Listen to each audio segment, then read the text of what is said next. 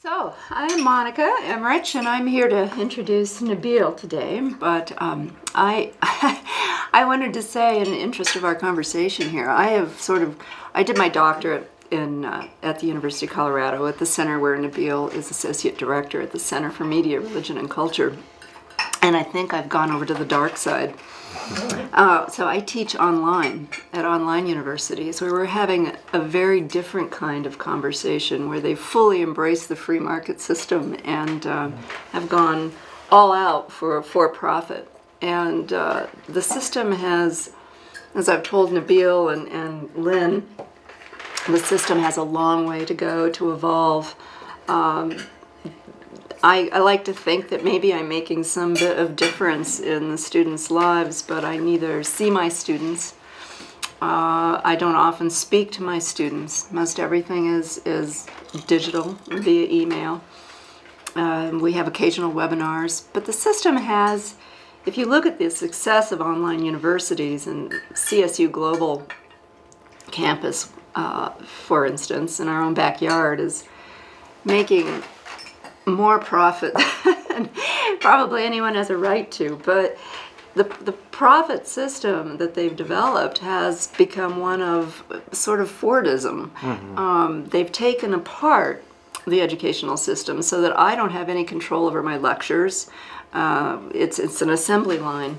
We have people who are hired, let's say we'll hire Lynn to write some content about um, business administration or, or coaching, let's say, she would give that pro that product to somebody called an instructional designer, who then takes it and sort of manipulates it and thinks, how can we make this a teachable moment for our students? And then it goes through a couple of other people, and finally it comes to me, the instructor. So I have no input into the lecture. Mm. I never have met Lynn. I never have mm. met any of the people up the assembly line uh, for my product. Mm-hmm. What I'm allowed to do is to, I can go onto the discussion board with my students, and the students are, are graded on their discussion. They have to participate every day. Um, it's the online university's way of forcing them to, to sort of interact with each other. But it's a very odd system. I mean, I, I they're making money, they're for profit. They say we're you know we're getting rid of all of those courses like theory and critical thinking and all of those things, and they're very focused on skills. So part of what we'll be talking about today yeah. is is um, how does the modern university compete or in a free market system and and still become a space for reflective processes mm-hmm. on society's deepest questions and oldest questions. Do we still do that? Or are we really just yeah. about producing technological skills that um, produce workers for a, a, marketplace that we then, as a university, mm-hmm. have to uh, address? It, it's a tricky question, and now so. that I sit on the other side of this in a space that has very much said, we're not reflecting anymore. We're all about teaching skills. Hmm. Um, it's a it's a curious place yeah. to be. So, would it be too simplistic to say that the the heart is going out of the system? You know, I I think for younger uh, professors or instructors, it, it, always amuses me that they call us professors because to me that we've been stripped of so much of what makes us a professor, but they call us professors, I call us instructors. I think younger instructors would say, no, this is, this is right where it's at because this is how they learned. And a lot of the PhDs that are going into online university teaching receive their PhDs in online universities. Mm. So it is a, it's a self-fulfilling um, system. And I, there are advantages before I go too far down that track and cut into Nabil's time, but oh, that's fine. Um, there are advantages. In, in theory, I like the idea of an online university. There, I look at my students. I have soldiers.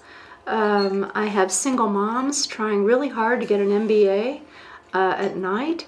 Um, I have disabled students. Uh, it, there are advantages to having an online university that's accessible 24 7 and, and meets people where they are in their place. That's the advantage. The disadvantage is that I'm very concerned about the content and the ability for people to engage such as we're engaging. And the way that we do that in online universities, I feel, is very superficial. Um, we force them into these digital spaces and, and call them a classroom, but How much personal contact is there at all? Excuse me? I'm sorry. We have a speaker. It's not a free We, we are going to address some of these questions. I think Monica here set us on a really good path. and path so for with this. that, um, let me introduce our speaker today, Nabil Shaibi. I and I've been pronoun- mispronouncing your name for years No now. Um, Nabil is the Associate Director for the Center for Media, Religion, and Culture at the university, and also a Professor of Media Studies. And Nabil's uh, research usually looks at the relationship between media and the formation of Muslim identities. And today he's going to look at a little bit different puzzle about identity, looking at how the institution of higher learning uh, exists in the free market system. Um, are we a reflective space? Are we technological skills? Are we creating, are you responsible for creating a more critical thinking citizenry? We hope so. Um, so today you're going to solve all these problems for us. Yes, I'll try.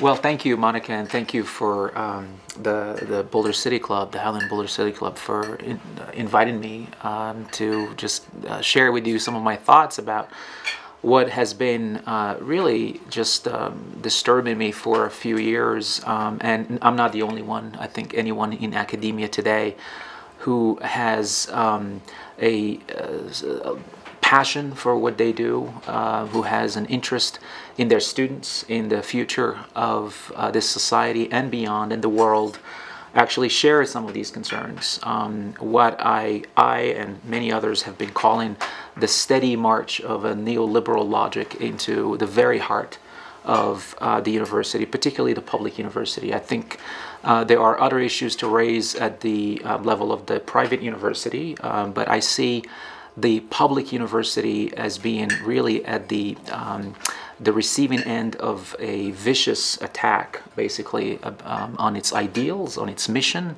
Um, and uh, as students, as faculty, as staff, as concerned citizens, we have to do something about it. Otherwise, the heart, as Harvey said, the heart is going to actually go out of the system uh, pretty soon. Um, uh, I, I uh, put together a presentation. Um, some of it is depressing. Uh, some of it is also very uplifting. Um, I brought with me an example of ways in which we could actually start to recuperate some of that mission, some of those ideals of the public university, and to salvage it really from uh, the um, uh, the grip of this neoliberal logic, which uh, has turned the university really into a knowledge factory as opposed to uh, more of a, a space uh, that um, encourages this kind of critical thinking and this preparation for the, the democratic ci- citizenry that can actually ask uh, good questions and can uh, sort through the issues and cannot be just governed but can actually question the governors as well. Uh, these are very important questions. I come from a field very uh, deeply steeped uh, in the humanities. Um, so the questions that I'm going to be raising today are questions about this kind of uh, theoretical preparation of our students who come to us with this incredible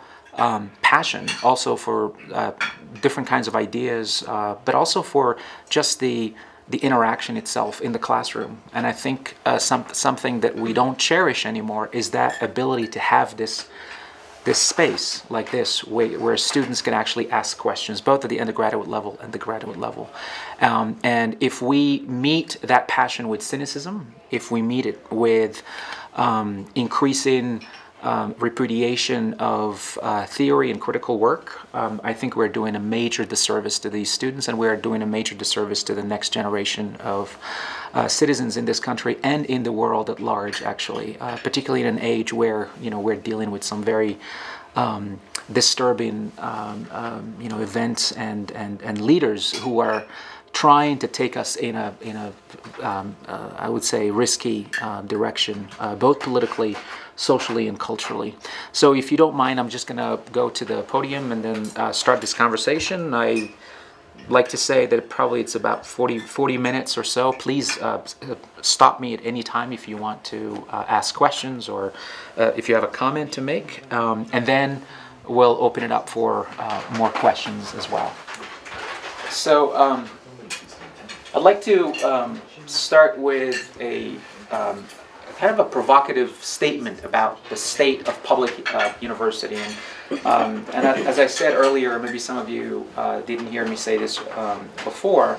I'm originally from Morocco, and I came to this country about 20 years ago as a young um, student, a graduate student, uh, just finished college in Morocco, and came here to the United States, um, really looking for a different kind of experience. I had great teachers, but it was a different kind of methodology and, and uh, pedagogy at the university there, where you know the the professor is the fountain of knowledge, and you're not supposed to question their wisdom. And uh, you come here, and it's a completely different. Um, um, uh, method, uh, methodology, and, and pedagogy, a Socratic method, really, of learning.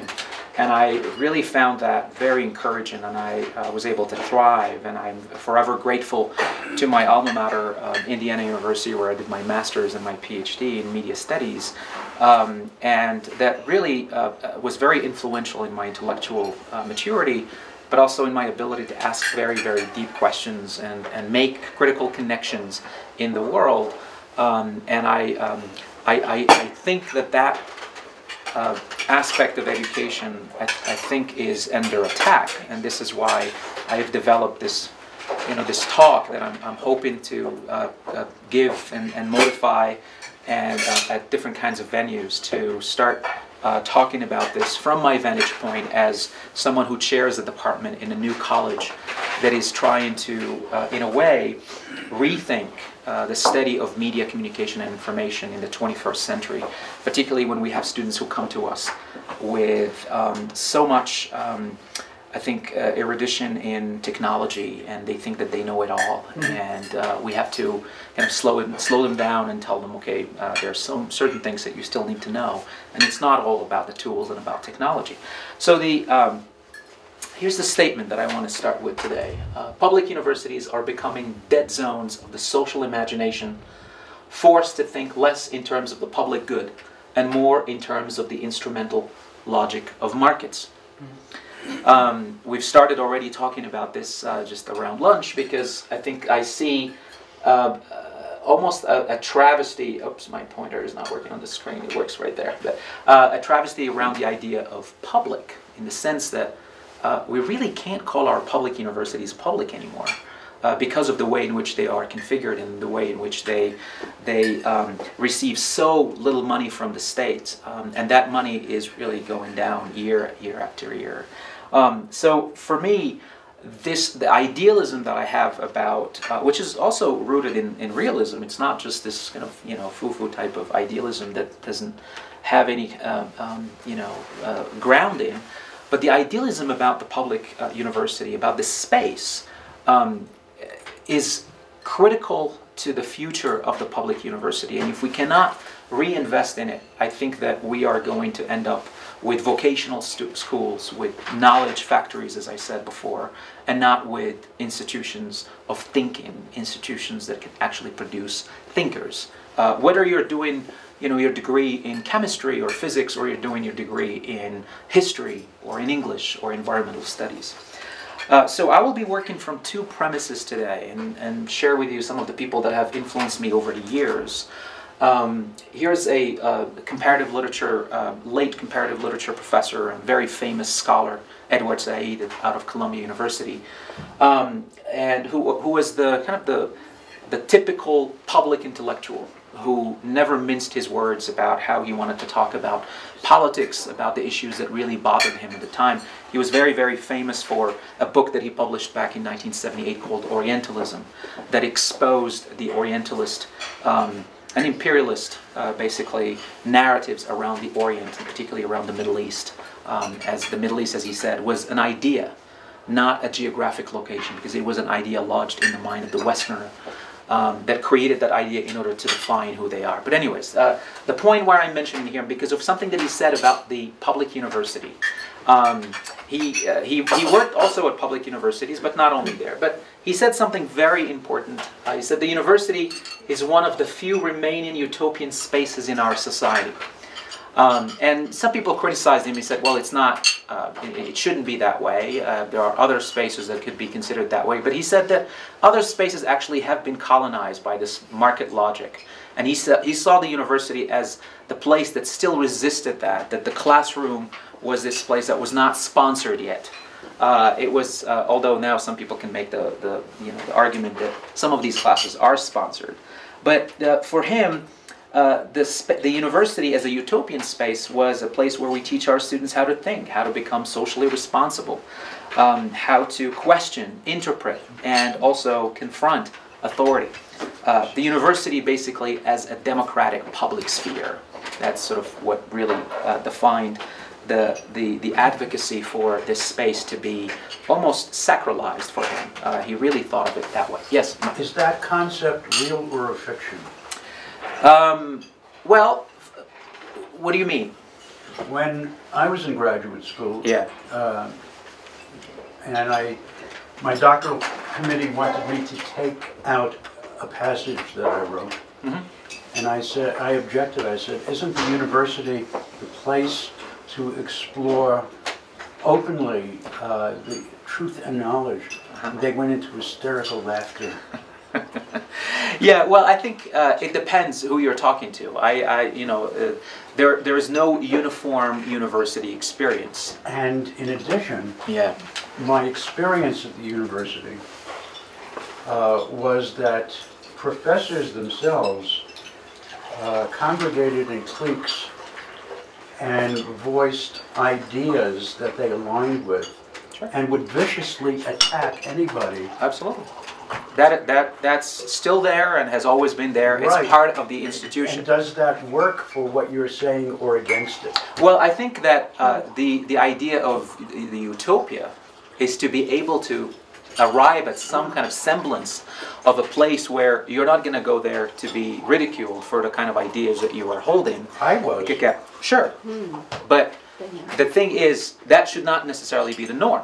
And But it is. But but uh, well, it depends uh, who you're talking you're, you're talking about. I think we, we uh, it's true that some academics and some intellectuals are very dead set in their ideologies. They don't want to uh, question their ideologies. But to me, it's how do you get to those ideas? How do you get to those conclusions? It's the method also that is very important. It's the critical method. If your method that wants to um, question my ideas, I, I feel that that method has been critical and has taken into account different kinds of ideas and different kinds of, of uh, trends and, and, and currents, intellectual currents. I'm fine with that. I should be fine with that. Now, I re- reckon that not everyone is necessarily, but he was advocating for people who have that sensibility, and that's what the Utopian University should be.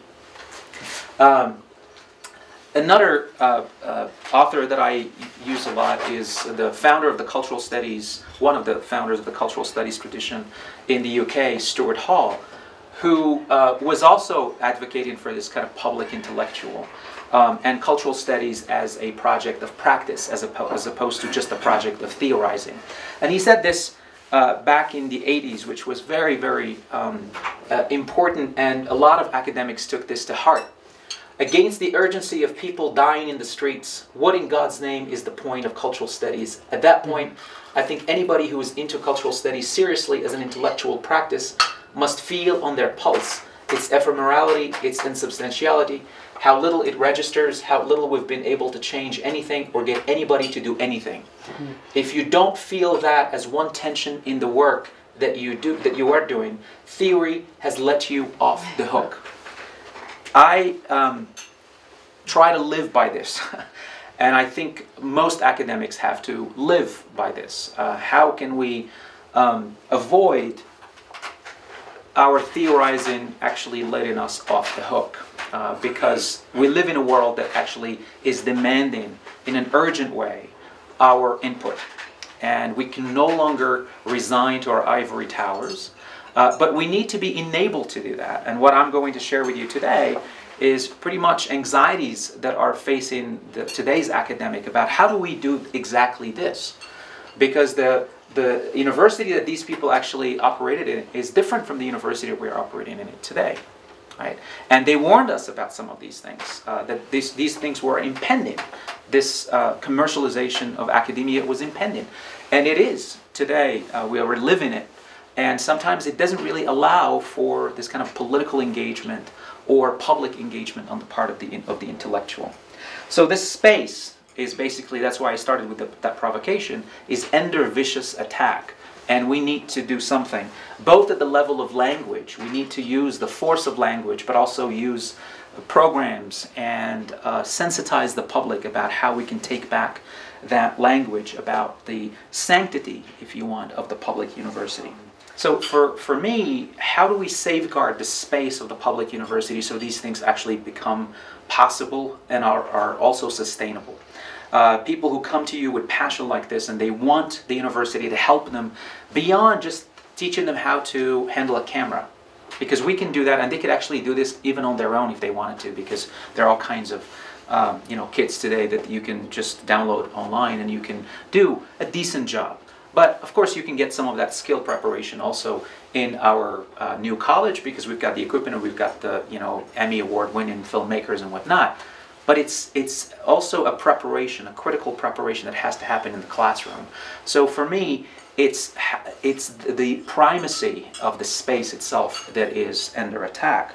So I want to talk about the the anxieties facing uh, today's academic, uh, who labors in constant fear of budget cuts, of dealing with less student enrollments, of relying on private grants to support their research, their creative work of having to face an increasing commodification of their profession, of having to revise their curriculum uh, to meet market demands, and of facing a rampant culture of anti intellectualism that thinks of professors as aloof, elitist, idealist, and condescending.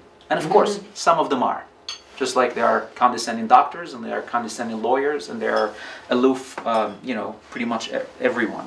Um, I'd like also to talk about this uh, uh, the crisis of the public university at a time of excessive social acceleration, and I'll explain a little bit what I mean by that. But I also want to leave you today with a note of upbeat optimism mm-hmm. about how we can reclaim the primacy of public education and then reinvest in an uh, unwavering commitment to the social interest or the social imperative, as I call it. Um, so let's start with the crisis of the public university, and I've brought with me a few slides of, of some uh, numbers that are very sobering for all of us to consider. Um, what is the what is this uh, uh, crisis really like? Well, first of all, we have to talk about the conflation of uh, teach, teaching with training. This emphasis, heavy emphasis now on skills, on jobs, uh, technologies, and whatnot. You have students now who, um, you know, since I've become chair, of course, you are on the other side of the administration, and then you we receive all kinds of um, requests from prospective students who are asking you, please share with me where your students, your graduates are getting jobs, mm. how much money they are making. Do you have information? They want all of this kind of information. Uh, if I if I get an, a, a BA in media studies, uh, how much money will I get compared to a journalist or a journalism, um, you know, BA graduate? They want this kind of very, very uh, granular information that we are not supposed uh, to be given to our students. That's not what the university is supposed to be about. But I can understand why they're doing that because, as we will see, they are facing also a very stern uh, economic situation, and that's why they want to see if there is a return on their investment. Um, so this is the logic of acceleration, which is also the logic of modernity. It's the logic of efficiency. It's the logic of um, outcomes, uh, measures, metrics, um, and a lot of faculty uh, know what you know metric systems are that actually evaluate how many articles they, they publish and where they published them and how many books they publish and how many conference papers uh, they have presented and, and whatnot. Uh, this is becoming even more rigorous and more demanding on uh, faculty themselves and this is making a lot of faculty very nervous as well. So our technologies are much faster and then they, they require of our lives to be faster um, by comparison, and they demand also faster outputs. Right? You have to respond to emails. I get an average of about 80 to 90 emails a day. uh, about 70 of which I have to respond to. Uh, so you can imagine just the amount of uh, uh, uh, just emailing back for anywhere from students to other faculty to other administration to uh, even parents who are concerned these days about what their kids got in, in a particular class and are you know they do that kind of helicopter parenting which is a little bit uh, annoying. Um, and uh, our politics also are much more um, you know fast and much more accelerated and spectacular but not necessarily democratic, as we all know. So we used to talk about the knowledge society, and today we we talk more about the knowledge economy. Um, things that we almost take for granted, right? The shift is not only about semantics. It's actually, it has tremendous implications for the way, the way in which we conceive of the social and how the university actually, public university, has to respond to that social imperative. Because that social uh, is subjected every single day to the logic of economic interests and gains, and our notion of the public is also submitted to the tyranny of markets and profits, as I will show, and to the primacy of individual interest. Competition breeds individualism, I want to surge ahead. I want to forge ahead. How can I get that job? How can I get? How can I produce this the next killer app? A lot of people come to the College of Information, Communication, uh, uh, Media Information, thinking that they're going to become the next Steve Jobs or the next, uh, you know. Um, uh, app developer who's going to be making millions of dollars. Um, and, and that's something that we want to dissuade them from because it's not about technology. It's about how can we think with technology to solve problems, and that's a, there is a huge distinction in in um, in, in between. In a 2014 survey of 10,000 middle um, and high school students conducted by Harvard University, only about 22% of respondents identify caring for others as one of their top priorities.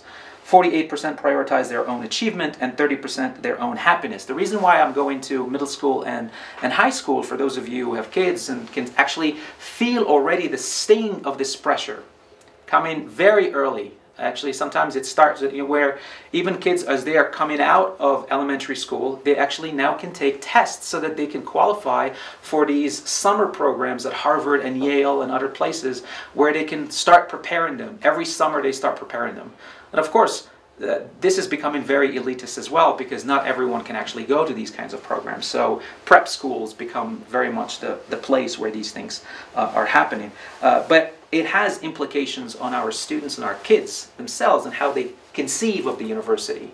Um, it's about my individual achievement, not about my commitment to the social imperative. Um, I use this work of this Austrian philosopher Ivan Illich, who back in the 80s wrote a fantastic uh, essay that, that I recommend uh, called Silence is a Commons. Um, and he said, um, and he's not a Luddite, he's not someone who's anti technology, he's just concerned about how technologies and different kinds of, of innovations are restricting our social experience. He said computers are doing to communication what fences did to pastures and cars did to streets. Um, and, and, and I think it, you know, it makes perfect sense. I'm just going to uh, read a little bit from his essay just to give you a sense of what this means. He says, Before, in any juridical system, most of the environment had been considered as commons from which most people could draw most of their sustenance without needing to take recourse to the market. After enclosure, the environment became primarily a resource at the service of enterprises which by organizing wage labor transformed nature into the goods and services on which the satisfaction of basic needs by consumers depends. This transformation is in the blind spot of political economy. So he wants us to grapple with this fact that the problem is not whether computers are good or not, it's actually what they lead us to think uh, or, or replace us by making the logic of computers basically dictate the way in which we live our lives. And, and we can find examples uh, of that. So just like streets are no longer for people because they have become roadways, strictly navigable by cars, universities as centers of education for all and as commons runs the, uh, run the risk of being subsumed in that logic of markets and become vulnerable to the encroachment of greedy bottom line considerations. This is already happening as public education is furiously privatized. So how can we call our public universities public anymore, um, given the fact that this is uh, already happening? Um, look, this is this is happening also in politics, right? And so think about the spectacularization of politics, and think about the incursion of money in politics, and it's become so naturalized that even when we are completely revolted by it, we really don't seem to be able to do anything about it. Uh, we have one presidential candidate who has been raising quite a bit of concerns about this, obviously, Bernie Sanders. Um, and uh, he's laughed at as, oh, yeah, he's so idealistic and his idealism is not going to get him anywhere.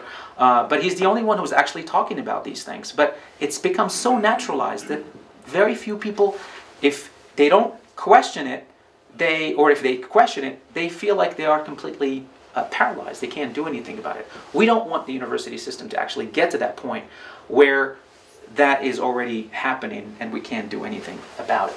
So, examples of how this incursion of market ideology actually is penetrating the university. Here's the this is an overview of state funding for high, higher education across the nation, right? And as you can see, higher education right here, right? And so um, this is um, where it is in uh, 2014, right? And so as you can see, as other services and where the states are spending most of their money. So, you know, elementary and secondary education is getting uh, the biggest share, so that's, that's fine. But what's happening is that there is there has been a decline over the years. So this is since 2000, right? As it says here, despite modest increases in 2013 and 2014, state support for public higher education per full-time uh, student remains nearly 30% below spending in 2000. Wow. Right? So as you can see, it goes all the way down and then it picks up a little bit, it picks up again, and then, you know, we're now kind of picking up a bit, but as you can see, uh, particularly for Colorado, the situation is actually pretty disturbing. Revenue sources of public research universities, right? This is uh, 2001, 2006, and 2012. Look at state appropriations, right? They start here in 2001, here is where they are in 2012. Federal and state local grants and contracts, obviously, they are going higher because, well, universities need this kind of money for research and, and, and for many other things. Private gifts and grants and contracts. As the money from the state is, uh, you know, is uh, getting drier and drier, obviously you're going to uh, require a lot more of these private gifts. And look at the tuition. Tuition is going much higher, right?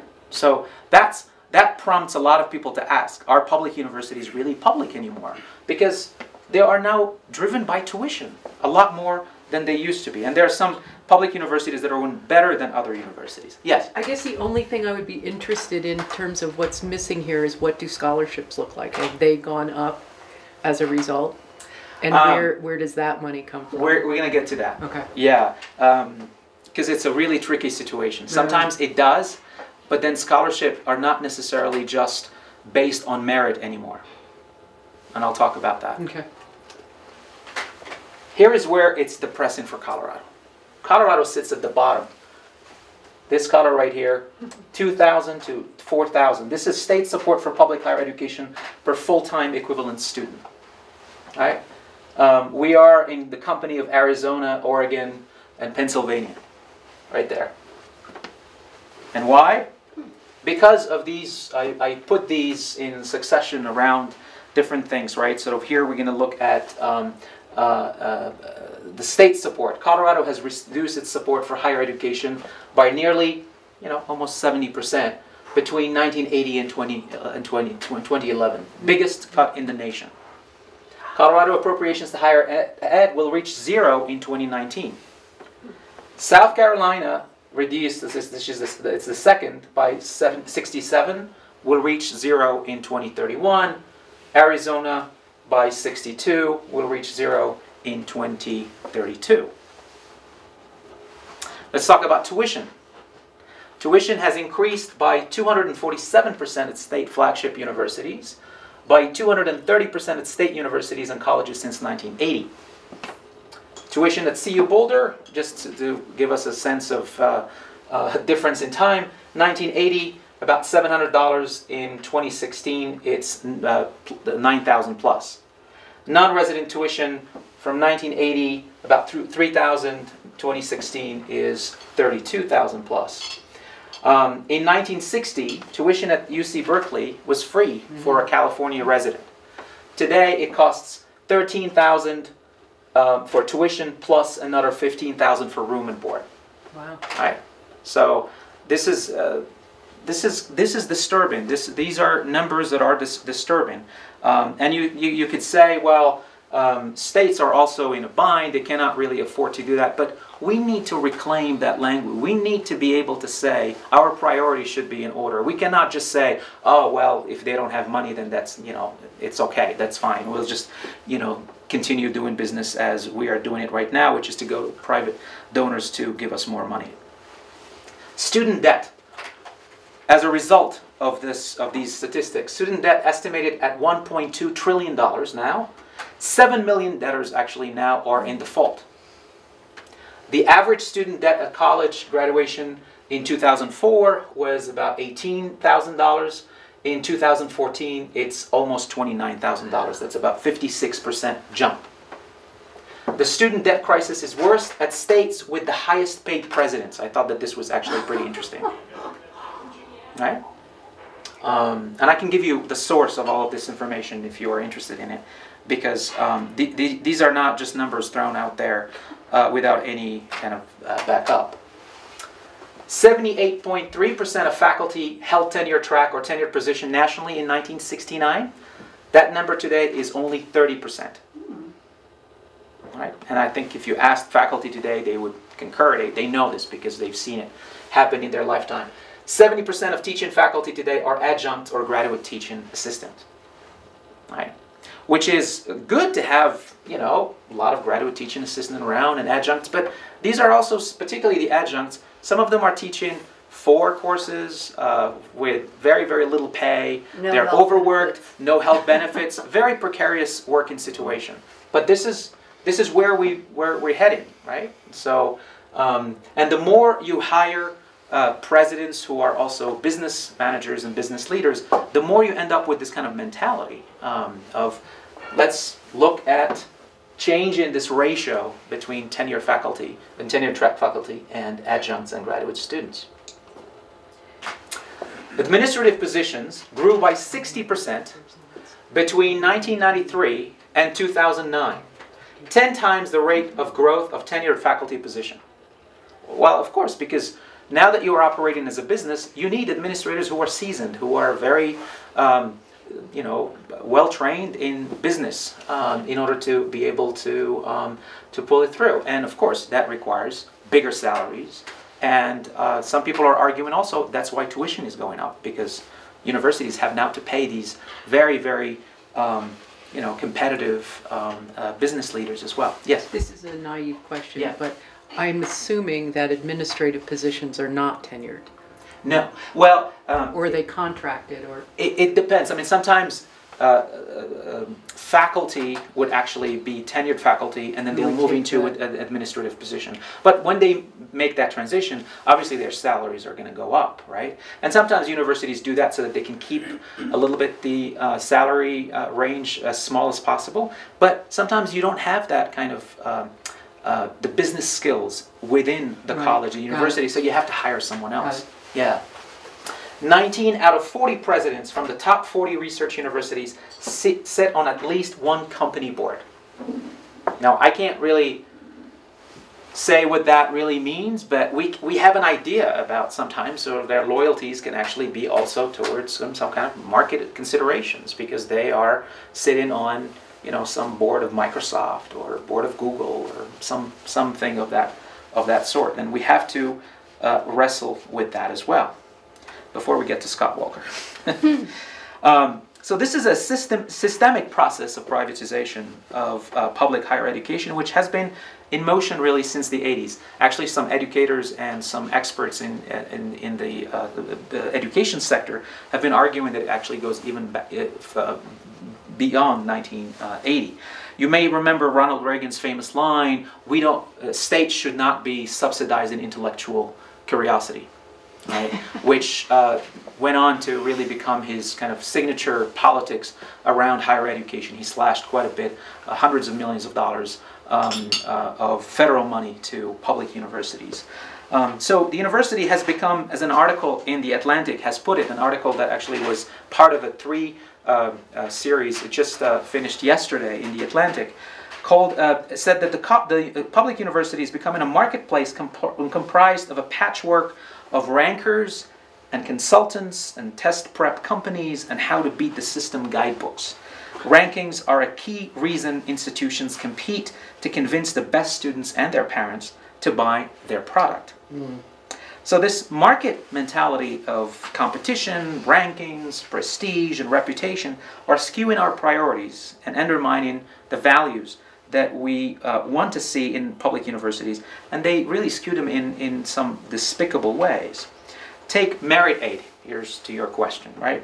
Um, merit aid has risen dramatically in the past few years across the board, both in public universities and also in private universities. And they have reached these record numbers recently, um, but, in, but only independently of financial need. It's part of what some are calling the bidding wars. Top students are in high demand, and colleges often bid against each other to offer the most appealing package, regardless of their financial need. So this limits the uh, uh, lower income students' chances of getting access to college. In 2003, only 30% or, or 30% of merit aid was given to students with family incomes in the top quartile. Okay, so uh, this is part of this competition. And ranking, the US News and World Report, which is the most reliable uh, ranking, um, uh, um, you know, that, that actually a lot of students and parents would consult, is driving this kind of, of, of craziness as well.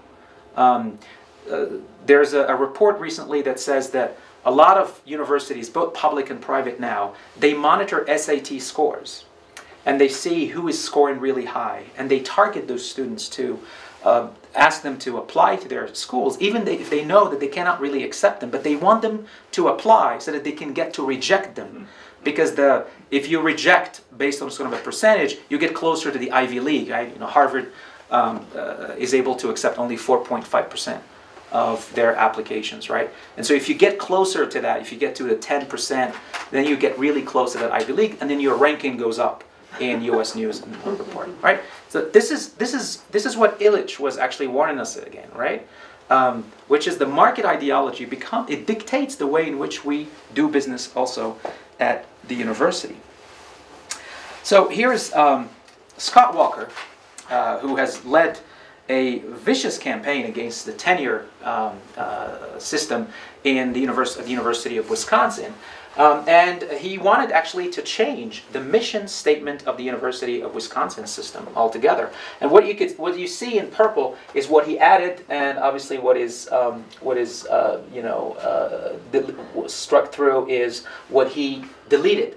So the mission of the system is to develop human resources to meet the state's workforce needs. Here he actually invoked Reagan and said states should not be in the business of subsidizing intellectual curiosity. So for him, it's just to meet the state's workforce uh, needs. Uh, he didn't like to extend knowledge and its uh, application beyond the boundaries of its campuses and to serve and stimulate society by developing, well, he didn't like that. Um, he took out this piece here inherent in this broad mission are methods of instruction, research, extended training, and public service designed to educate people and improve the human condition. Basic to every purpose of the system is the search for truth. He didn't like that. And we can argue also about that because I could argue about, well, whose truth it is, and we can get into these very kind of, um, you know, uh, deep conversations about that. But it's interesting how invoking Reagan, he thinks that this is um, this is not this should not be the business of universities. Universities should not be expanding the intellectual horizons of their students. They should just give them skills and get them, um, you know, on their way to graduation. So the question becomes, how do we respond to this? How do we respond to this culture of attack? Um, and how do we restore the mission of the public university? Because some faculty are extremely demoralized and have lost faith in their administration. Others are simply not interested in addressing the current attacks on the university. Others are furious that the language of specialization and professionalization has trivialized their efforts to connect their work to a larger civic um, uh, mission and social problems. And some have become helplessly cynical, uh, and their cynicism has become paralyzing, both to themselves, to the institutions where they work, and to their students. I don't believe in cynicism. I um, believe, as George Carlin said, scratch any cynic and you will find a disappointed idealist. um, I, I like this idealism actually to be an engine of change, of action, of forging ahead, of waging the force of language to counter this totalizing narrative of market fundamentalism, which is making a travesty of the public mission of our universities. As neoliberalism seeks to narrow the mission and the purpose of the public university through their tuition, uh, precarious working conditions, a technocratic mode of learning, we should stake out our own claim loudly and to everyone that the democratic values of the public university cannot be tempered with. And there are a lot of academics who actually have done this in books and have done them in college, in uh, uh, journal uh, articles. But the problem is, only other disappointed faculty actually are able to see that and other students. And they're not really getting out there into the public to make this case to policymakers, to legislators, to the members of the public so that they understand precisely how they have and why they have to preserve that sanctity of the public university. We must go beyond simple moral outrage and critique to cre- reclaim those values. You know, I'm, I'm, an idealist, and again, as I said, my idealism is rooted in realism. I know that just speaking about this thing is not necessarily going uh, to make it happen. So the example that I'm bringing uh, today, um, and, and if you could, uh, Monica, if you could just uh, circulate that um, uh, brochure, is, um, I hope, is uh, uh, one of the ways in which we could um, start to recuperate that social and political edge of the public university as an, uh, an incubator and a catalyst, hopefully, of social change in which students, faculty, and the community work together in order to address and seek solutions to pressing social problems. We call it media and public engagement, right? And we deliberately wanted to put the idea of public in there. We thought, here is a public university that should actually offer something that has the public in it and uh, is able to belabor to students as well as to the rest of the community that this is the kind of things that the university should be in the business of doing. And that's one way of walking back, at least of trying to walk back this uh, steady march, as I said, of neoliberalism. So, um, what is MAPE? Well, MAPE for us is a way of slowing down. We talked about social acceleration.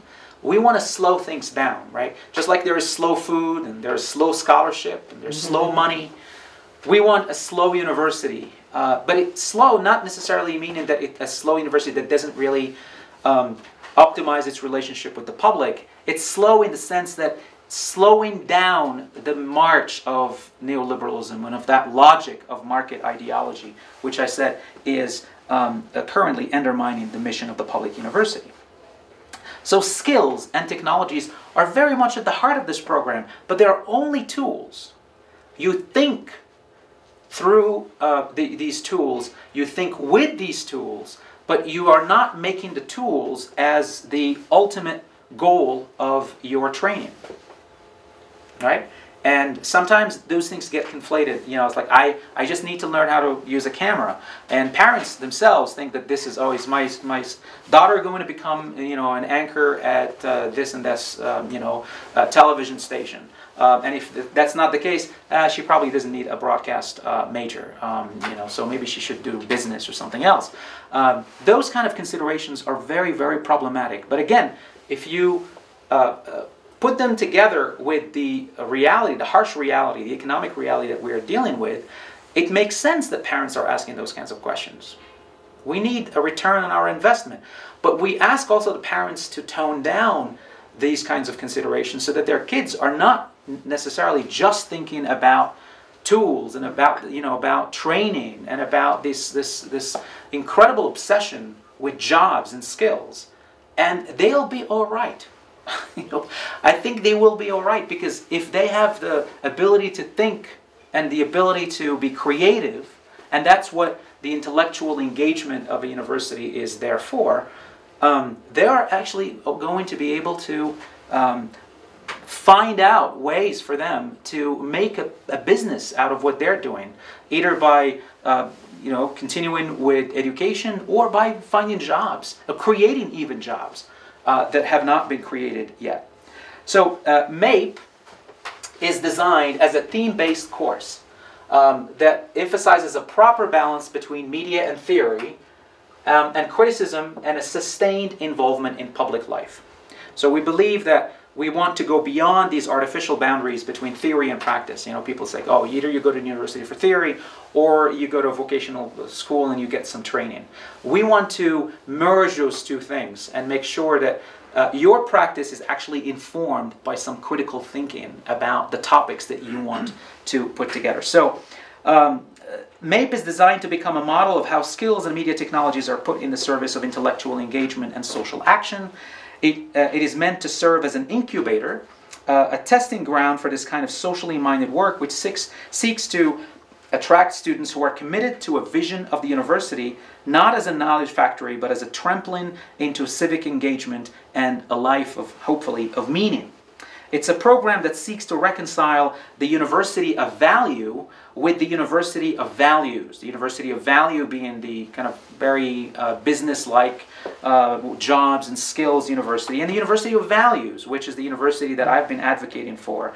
This is how uh, you know Ghanaian uh, uh, uh, philosopher Anthony Appiah actually has talked recently in a New York Times article about the what's the point of college, and he said uh, there are two colleges. There's the college, what he calls the, of, uh, the University of Utility, and then there's the University of Utopia. And he says the way in which we've talked about those two universities is separately. Now comes a time in which we have to think about how we, we merge them together. And that's the only way for us to recuperate again this, um, this edge of uh, the social edge of the public university. So we would like to make this program accessible to everyone. Now, if you come to this program, it costs money.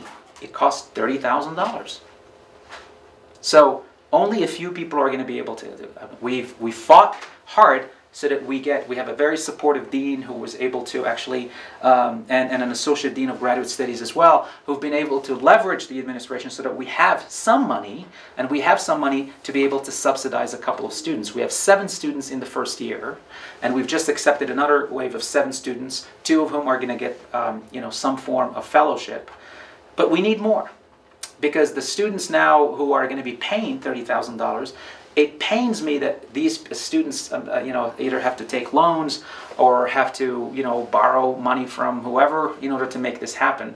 How can we make sure that we can make this program, um, again, um, uh, uh, affordable is precisely one of the reasons why I'm doing these kinds of talks. And this program is part of CU then? Yes, it, yes. So, quick question before I get to the actual Q and A. Yeah. Why don't you consider MAPE outside the ambit of the University of Colorado? Well, Given all the Yeah. financial baggage, et cetera, et cetera, administration, this, that, and the other thing, and have something more affordable. it is, um, well, I work within the university, so if I create something outside of the university, that's going to be a very, you know, This yeah. is all confidential here, except for the video. video camera. No, no, I'm not. I'm not necessarily concerned about how you know someone might see this uh, from um, the, uh, the administration of CU. I think that um, it's a valid question, right? It's a valid question, but I'm working from within a system, and I have to also try to uh, reform that system. And I don't want to just take this program outside and say, okay, well, here's the solution. Let's just I'll get I'll outside. just remember, all your observations you've made so far about the whole thing. Yeah. Kind of boil it down to, we've got, uh, Monica, is it? Yeah, Yes. With the MOOC, with the up right. program, Uh-huh. right? I would think there's a tremendous possibility, and I know it's more rhetorical than anything else. I Yeah. You're not gonna actually use the system and to get out of it, right? Yeah. But if your heart was really in making this something like made available to many more students, why wouldn't you consider that? And I, I know the answer, you don't have to answer. Yeah. Well, you no, ask? Because I'm making a rhetorical question. Sure. let me explain it's rhetoric it's not it's it's not it's not only about the uh, how delicate of a, of a, of a, of a question it, it might be right within within the college for me it's i, I want to act from within the system Right.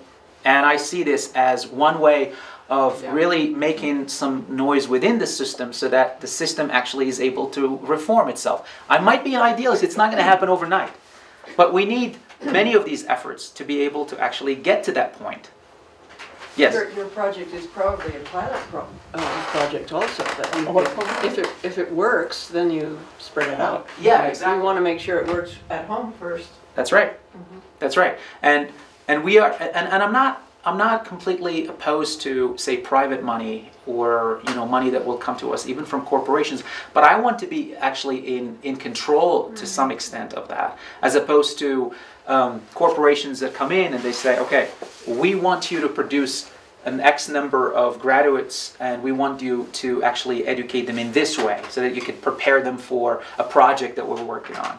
Um, this is the, kind the video that I showed you earlier of uh, Griselda and um, you know the other student who worked on that project. Those uh, when I saw that and I saw the, the, the, the incredible zeal and passion that they had, and the fact that the university actually has contributed in one way or, or, or another to to putting them on that on that uh, track to raise consciousness about a topic that is not addressed by the media. And as you can see, the numbers are staggering, and it's a major problem. Just, these- just so in Yeah. an application, it's just, we're just crying out for a need for real investigative journalism in Yes. this country. Right. For so many reasons, by their very nature, they're going after, let's say, special interests or this or that. So this is beautiful in terms of developing investigative journalism as a real respected kind of profession again. Absolutely.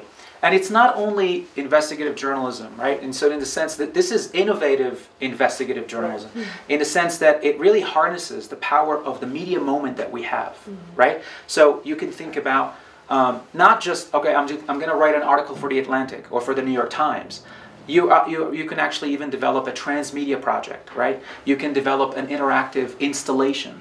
And you could work with artists, which is really what this program actually does. That's where Monica comes in. Yeah, yes, um, and and I think it's that it's that community, right? So and and then students are working also with community leaders. They are working with activists. Uh, we have we have one student right now who is uh, doing her project, and she just uh, you know uh, is working on the final touches of her proposal. She's interested in. Um, refugees who have been uh, placed here in uh, as a, a government program here in Colorado, who are actually victims of sexual abuse um, in war ravaged, uh, you know, uh, countries of Africa.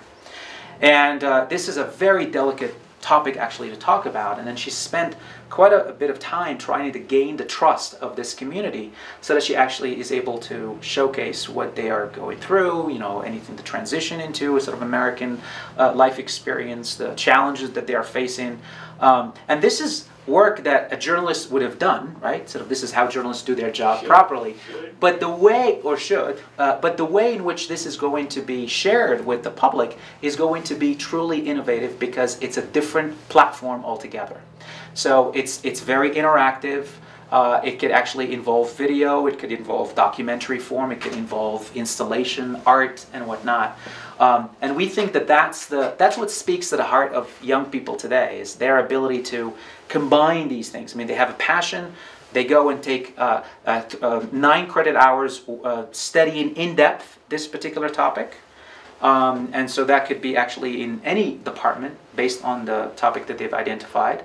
And then they uh, immerse themselves in uh, practical uh, courses, right, around the art of filmmaking, if this is what they want to do, transmedia, and all of this is offered at the college. This is this pro- program works well because it is housed in this College of Media, Communication, and Information. It would appeal to the old people too, not just young people. So leads up to my Actually, question is, yeah. is there a way for somebody, a non-university student, with paying for it, Yeah, slash auditing or whatever, Uh-huh. to participate in absolutely, like absolutely, absolutely. We have a student who is, um, I think, 67 years old, um, who just applied to the program, right? And she's been working. Uh, she's of Mexican origin. She's been working a lot with immigrants in the Denver, um, you know, metro area, and she wants to take this to the next level. Her activism, she wants to take it to the next level, and she just applied, and she will start in in the fall. So yes. I'll take that back. It's not only about you know young people, uh, but it's it's open to everyone who wants to really apply for it. Let me just uh, finish uh, uh, just my conclusion, and I, I'd be more than happy to uh, oops, um, to get some more questions and have a, a conversation about this. Um, so let me just say why I came today um, to talk to you. Um, as I said, I did not come simply to whine about the deplorable s- state of public universities or uh, merely share with you my anxieties as a wounded academic who deeply cares about the ideals of the university and our commitment to students. I came here today to ask for your help, not just your empathy. That is, if you agree with me about obviously the risks that we are facing. A few years ago, Stanley Fish wrote a, uh, a couple of pieces uh, for the New York Times.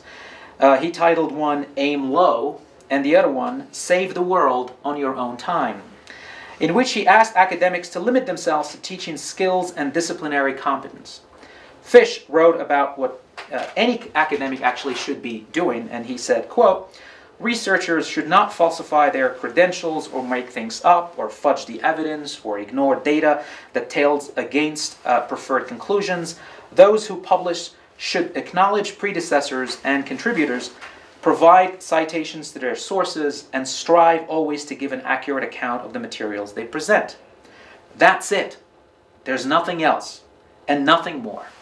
But this is no small list of professional obligations and faculty members who are faithful to its imperatives will have little time to look around for causes and agendas to champion. Well, I don't want to aim low, and we should not be telling our students to aim low at a time when we need their vigilance and their critical thinking. Sure, we don't have an exclusive access to some kind of truth about everything. I think it would be pretentious of us to assume so. But we have an obligation to awaken the critical faculties of our students, as Edward Said, uh, uh, that I showed you earlier, reminds us, because if we don't aim higher in the age of Trump, Putin, ISIS, climate change, political corruption, racial tension, global poverty, and erosion of human rights, then as Stuart Hall warns us, not only our theory, but our conscious, conscience will have let us off the hook. So thank you. All right, now we can have a conversation if we have time. Absolutely. This is the fun part. Okay, good. That's very, very stimulating. My goodness. I've got a whole list of things I'm sure everybody else has, but you know, there's an impetus here to towards national decline, Yes. right? Absolutely. Creativity, for God's sake. I mean, involvement in um, in local and national politics. If you can't see through an argument using critical thinking, which is exactly what I'm doing right at the moment with state and federal officials, Ah. if they can't understand Yes. um, the sort of details we get into in a relaxed, critical thinking scientific class, you know, death occurs despite it being 100%. Okay. um, goodness me. Um, even down to the level of Boulder and other university cities as successful beacons that draw entrepreneurs Yes. because they like the creative life and so forth. If you start getting down to the technical school level, however you des- describe it, that's going to diminish that attractiveness to some extent. Yes. Maybe it's a, a minor factor, but it's just, No, actually, it's uh, it's interesting that you raised that because one of the things that we're trying to do with the program is to involve um, entrepreneurs, um, either social entrepreneurs or uh, technology entrepreneurs, and particularly because in Boulder we have a very vibrant scene of people who don't subscribe also to the Silicon Valley type of um, development plan. Right, some of these people actually uh, like more what they call the Silicon Alley uh, type of plan, right? So which is kind of more open, more egalitarian, and the person who is uh, helping us run the MAPE program is someone who is um, now getting all kind of um, support and will need more support to actually um, rethink the um, the ownership of the internet, right? And so he is uh, what he calls platform cooperativism, which means a cooperative look at how we can produce apps and how we could produce uh, different kinds of internet uh, companies that would service um, the the you know um, the social basically and the political in a way that are more egalitarian. Um, he's also a journalist, a very seasoned journalist. He was the the reporter who wrote that very um, first article about Occupy uh, movement um, um, in, in Harper's Magazine. Uh, about the birth of a movement, um, and he is himself an activist, but he's also a journalist. And much of his life he spends really trying to think al- along the lines of the boundaries between those two th- those two lines. And he's very open to entrepreneurs. He's o- open to uh, you know uh, uh, tech managers, and has been able to leverage the tech scene here to uh, partner with us and uh, provide opportunities for our students for internships, but also our students probably hopefully to have jobs in some of these uh, places down the road. Yeah. Just a, a final point to Yeah. illustrate for the non-academics in the audience that um, the emphasis on uh, grantsmanship, on forcing faculty, particularly in the sciences, Yes. to go after federal grants to support the university as the state level is support is going down, then impinges, of course, very directly on teaching. You get somebody as, as notable as Hunter Rawlings, you'll probably know the name, Yeah. decades ago, saying to new faculty, forget about really putting your effort into teaching, just do the minimal and get the money, get the money. And it's an extraordinary process. I think that that's uh, absolutely uh, true, uh, not only uh, in the sciences but also elsewhere. Is that there is this pressure now on us. Um, you know, it used to be that chairs didn't really have to do this kind of work.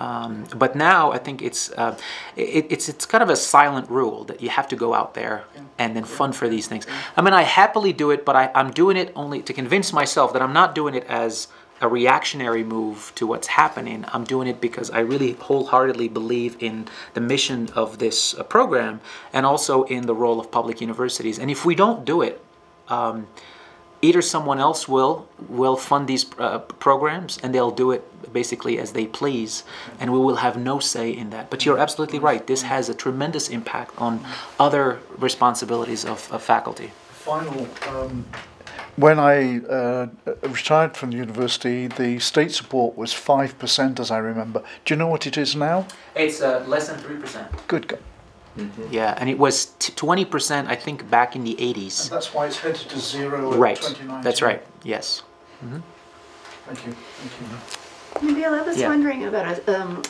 statement that you had on the screen about one out of so many um, tenured faculty are sitting, or maybe it was chairs, are sitting on Uh, company boards. presidents. Presidents are sitting on company boards. Yeah.